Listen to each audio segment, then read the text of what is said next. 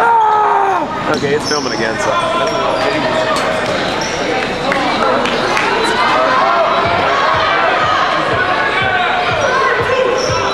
I can do that, but I won't risk it because we like.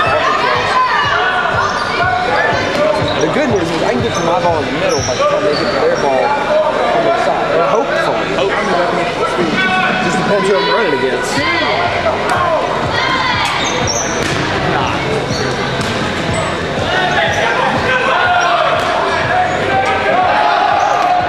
See a ball come flying right at me either. I expect it, but it hasn't happened yet. So don't do that. Maybe, uh, maybe you don't.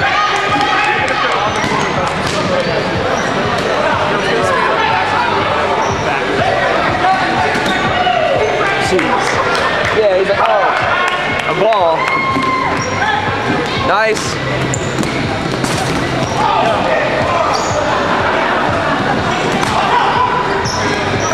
Got guys that can throw and they just aren't using them, you know? They're, they're good throwers, get one or two throws and then they're out.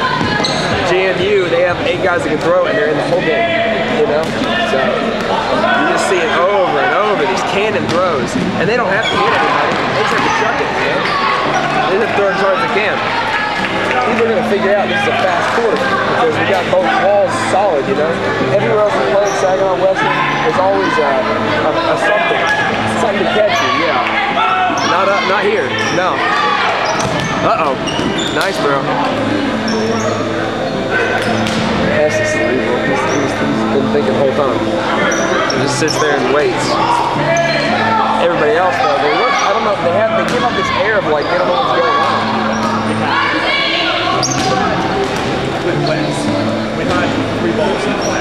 You like that? You like that Spencer wears number one on their team? He's probably the hardest thrower. Well, yeah, probably. Uh, he's not even. He's got the hat on. He's on their bench. He's number one, just like Wes. I wonder. I wonder if they didn't you know, say, "Hey, you need to be number one."